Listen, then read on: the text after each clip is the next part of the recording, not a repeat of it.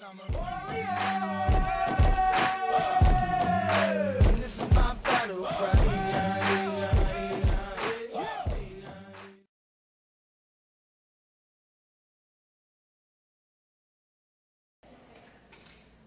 The Freshman Leadership Academy, our purpose is to get students, number one, familiar with the high school environment. It's somewhat like an orientation.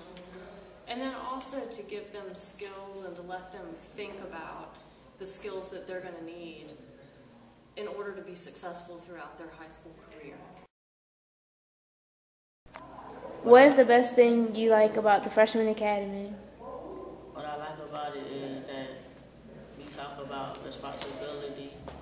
that we learn new traits and then when they tell us um, how good it is to like be responsible and stuff and get you ready for freshmen. Do you think the Freshman Leadership Academy helps you understand about high school and why? Yes, because it's like we showing responsible stuff to teachers and all that. They want us to be responsible and be respectful.